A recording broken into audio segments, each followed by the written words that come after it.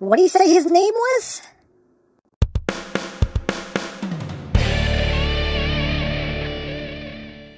Hey! What's up, my peoples? EmGo here, the freaking geek himself, and today we will be reviewing the Transformers Studio Series Voyager class Galvatron. So here we are, and there he is, and first and foremost, as always, we'll take a quick look at the packaging right up front here, we have Galvatron looking all Galvatron-y. Hey, look, his name is Galvatron Transformers. On this side of the box, we have Galvatron. On this side of the box, we have Galvatron's beautiful mug. He is a Voyager class, a Class of Voyager, Voyager Class A, Class of Yahedone, Class A Voyager. Up top, Transformers Age of Extinction. On the bottom, words, things, barcodes. On the back of the box, you have your obligatory product shots, and you have a very brief bio.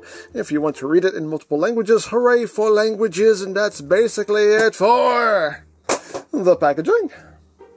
And moving right along, here we have Galvatron as he appeared in Transformers Age of Extinction. And behold, Galvatron. Here he is in robot mode as he was packed. And let's get in close here so we can take a look not at his Galva crotch, but at the Galva noggin as the Galva noggin. As you can see, a pretty nicely done face sculpt there. I mean, Galvatron had a weird face in the first place, so you know what? It works. It works. Oh, Are you doing some nice silver paint here? Also some nice metallic colors as well, like a metallic teal going on in there. You do get some silver paint throughout on the figure, not a lot. I wish there was more, but it is what it is. But you do get a lot of nice detail going on here on the figure itself, though. He does have the hole in his chest. You know, you could, you could you know, put a sword in there because he has no soul. That's why he has no fear. And he also has no burritos. But anyway, moving down the legs here. Again, lots of nice detail. You get some silver paints here and there. Some more of those metallic paint apps going down the legs. His big old feet, no toesies. And moving up the back. It's a pretty clean transformation. Not too bad. A little bit of detail back here. You got some of that bronzy coppery color in the back, so you can see. Not a whole lot going on backpack-wise, which is quite nice. But overall, not too shabby. Not too shabby. Now, articulation-wise, uh, the head, I think the head is on a ball joint, but just due to the shape of everything, you have minimal wiggly-waggly. You can look up a little bit, look down a little bit. Head can do a full 360. Arms can do a full 360. They can move in and out. You have bicep rotation. You have a double jointed elbow. Uh, nothing at the wrists, unfortunately. Uh, you do have waist rotation. Legs can go forward that far. You can do the big boot. Back that far. Outward. You can get about that far. You got thigh rotation. You have a bit over 90 degrees of bend at the knee, the feet. Um, they cannot move up, they cannot move down. Well, they can move down at this hinge, but that's more for transformation. But I guess you can use that for some posing if you need to. And you have lots of ankle tiltage. Now, as far as accessories go, he does include a little hand cannon right here, just done all in silver. There's some nice detail going on here. You can see totally painted in silver. You also get a little missile cluster here, just cast in black.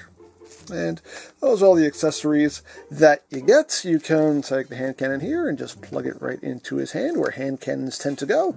And there you go. You can pew pew bang bang, pew pew bang bang, and all of that good stuff. You can take the missiles here, and you have a tab and a slot on either forearm here, so you can plug it on whichever arm you want. Plug that in like so, so some more pew pew bang bang, pew pew and bang bang, and all of that. Now you can store the missiles on his person if you wish. You can just open up his chest, and yes, his chest is hollow. You know why? Because he has no soul, which is why, coincidentally, no fear. That's how it works. You just plug that right in there, close that up, and voila, there is your storage. Hooray, hooray for storage. So there you have that, and now for comparison. Here he is with Studio Series, Lockdown, and Stinger. With Studio Series Prime, here he is with the Last Knight Voyager Prime. Mine has some stickers and some third-party add-ons, but just so you can see how that works out. And that works out pretty well. Not too bad. And with Studio Series Megs. And with Studio Series Megs. And with Studio Series Megs. And here he is with the original Age of Extinction Voyager Galvatron. So you can see how that works out. And I think the Studio Series version looks a bit better. Again, wish there was more silver paint on him, but I feel like he definitely cleans up a lot better. He doesn't have, you know, the flattened out cab on his back, so they did a better job here with the engineering, in my opinion. So overall, I think the Studio Series 1 is a bit better. And even though I don't like doing this, because, you know, it's kind of pointless, but I don't have too many of these uh, Galvatrons here, so we'll bring in the Unique Toys Galvatron, just so you can see how that works out. And while we're up here, here he is with Studio Series Grimlock. So, there you go. So that is basically it for the robot mode. So let's get down to transformation, shall we? Let's. So, first thing we're going to do to get him into alt mode here is we're going to rotate the arms 180 and then just fold them up like that. Rotate the arm, fold that up like so. Then you're going to open up his chest, just bring that down, come back here to this back panel, and undo that, bring that down. Uh, you're then going to rotate his head around. You want to unclip the shoulders here. Just bring them out about halfway right now. Then you're going to take this whole section here, bring this up and over, which will take the head with it. Make sure the head is straight. Bring that around. You have a little tab slot connection right here. Just tab that in like so. Then you're going to take the arms and just swing them in like that. And once you've done that, you want to rotate the forearms in. And you don't want them overlapping, you basically want them like that. Because if you have them any other way, things are going to get, things are going to collide and keep things from lining up. So that's the way you want that sitting. So once you've done that, take these little side panels here, flip that up, flip that up, and then bring all of this up and over. It's on a double hinge. Just make sure you got everything lined up just right. Got little tabs here that will connect on either side. And then you can this little black panel and just bring that down. That'll cover up the hands. So there we have that bit all done. So now we're going to move on to the lower body. So what we're going to do here is we're going to unclip his waist here like so. And one thing to note also, I just thought this was precious. They even they even detailed his butt. Even has some butt detail. That's wonderful. Absolutely wonderful. Anyway, so now we're going to work on the legs. So you want to come back here to this panel. Just bring that out. You can bring this foot down just a little bit so you have just clearance to bring this up. And then you want to swing this out like that. Bring the foot back up for now. You want to split his toes, split his whole foot in half like that. Bring it down Take this wheel, swing that out. Then you want to bring the foot up and then rotate this entire assembly up like so. And then this toe will just fold in like that.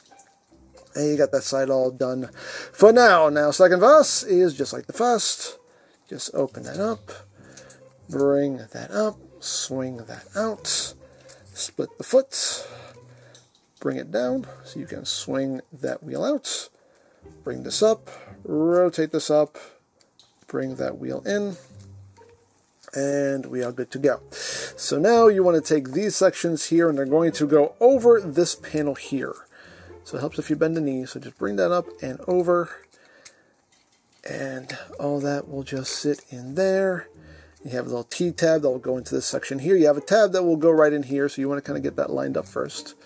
And then once you do that, you just kind of push that all in and that should all line up just like that and same thing on the other side just kind of use that knee to help you get this panel up and over that section there and then you can swing this down make sure you tab in that front section get everything lined up all nice like there we go This I usually likes to fight me, but today you cooperated. Yay! Thank you for cooperating. I appreciate your cooperation. There you go. So we got that situated. Now we've done that, you want to take these wheels and rotate them forward. Take them and rotate them forward. And you're going to bring this assembly down on this double hinge. Like so. Just make sure all that lines up. And you have two tabs right here for these two slots right here. Just line it up and tab it in, tab it in. Tab it in, tab it in. That will lock all of that in place right there, like that. Then you just kind of get in here and straighten this back out. There we go. Got things a little better lined up. So last thing we gotta do, take this section here, swing it around. There's a tab and a little notch right here for it to sit into. Just bring that around and bring that around. Tab all of this together. Back here like so. And just make sure everything is nice and squozen. And there you go. There you have Galvatron in his alt mode. You get a real good spin out of him. there he is in truck mode. And he looks good, nice and Galvatron like in the movie. I can work with it. I can work with it. Let's get in close here so we can take a look at the details. And you got some silver right up front here. Lights up front, picked out with some paint. You get the metallic teal in there as well. Black there for the windshield, some black up top. Silver going down the sides. And yes, you do have his uh, his robot mode feet are just kind of hanging out back here. That's not the most elegant thing in the world, but oh well, it is what it is. I mean, it's not. It's it's yeah, it's kind of an eyesore, but you know, oh well. All in all, though, not too shabby. There is the top. There is the bottom. He does roll, as rolling things should. Hooray! Hooray for rolling! And for comparison, we're going to keep this brief. Uh, here he is with the Studio Series Prime, with the Last Knight Voyager Prime. So you can see how that works out. And with the original Age of Extinction Voyager Galvatron. So you can see how that works out. You can see who's who, what's what, where's why, and why's how. See how they look side by side. So there you go. Now, as far as storage for your accessories, there are some things we can do here. Uh, you do have this tab here on the side of the cannon. You have slots right here on either side. So you can totally plug that in here take one of the missile racks. Well, there's only one missile rack. Why am I saying one of the missile racks? The only missile rack. You can take that, plug that in there, and you can have that going on. Things you can do if you want to do it. And I just noticed, I don't know if these are meant for this. Slots up there? Does that work? Nope, doesn't hold. Uh, they kind of hold. Nah, not really. I just noticed those now. Don't know if those are a thing. Maybe it is. I don't know. Eh, not really. Probably not. Okay. Anyway, so that's one thing you can do, but we can store this inside the truck as well. We can open up this panel, and you can see in here is a little tab right in there that will go into this notch here. So you can just take this and just drop that down in there like that and just store that in there and close it all back up. So you can store that out of the way if you wish. Now as far as the arm cannon goes. Uh, the best way to do this is to split the legs, I found. So basically what you want to do is you want to sit this right in, if you look and see right here, there is a, a slot right right here. I don't know if you can see it. It's right. It's right there. it's right. Let's flip it over. There you go. You can maybe see it right there. This slot right here is where this is going to sit into. You're going to use this tab right here. So it goes in at an angle, and again, I found the best way to do this is to just split the legs and just kind of slide this in from the side like so, and then just close all that back up. like that. And that's where that sits, and that's where I can store nice and out of the way. So hey, it's storage if you want storage. Hooray for storage. Then, of course, the last thing to talk about is the included base of displayage that resides within the box. Pull this out, get out of my life, open that up, and now we have Hong Kong getting blown up. I know how this works. 90 Studio Series, Age of Extinction logo down there, Transformers, all that good stuff. Oh, you can take your Galvatron, plop him down, and as always, hey, display options, and as always, display options are good. So there you have Galvatron, and uh, yeah, nicely done figure in my opinion. Um, you know, I, I wish it had some more silver paint on it. Really could use it. But still some nice sculpting, nice detailing there throughout the figure. He does handle the engineering better in some aspects than the original Age of Extinction Voyager figure. Um, I mean, granted, he does have the robot mode toes just kind of hanging out in the back of the truck, which is kind of an eyesore, but it is what it is. So there is kind of a trade-off between the two. But the transformation is smooth, fluid, enjoyable, a little bit of fiddle factor just getting, you know, those panels lined up in the front, but nothing to a frustrating degree. All in all, nicely done figure in my opinion. Of course, you know, always room for improvement, but for the most part, nicely done figure as far as I'm concerned. So there you go. Now, Amazon just got this guy in stock as well as BigBadToyStore.com, as always linked in the description down below so you can check that out. You can also check out the Studio Series playlist for any reviews you may have missed, also linked in the description down below so you can check that out as well. And I think that's it. So don't forget to check out EmGames, check out Love Peace Paranormal, follow me on Twitter, all of that good stuff down in the description below. And I think that's pretty much all there is to say. So there is the Transformers Studio Series Voyager class Galvatron. And this is EmGo saying, remember, you know, stop playing because you grow old. You grow old because you stop playing. Be geek! Be proud! Palm in your face!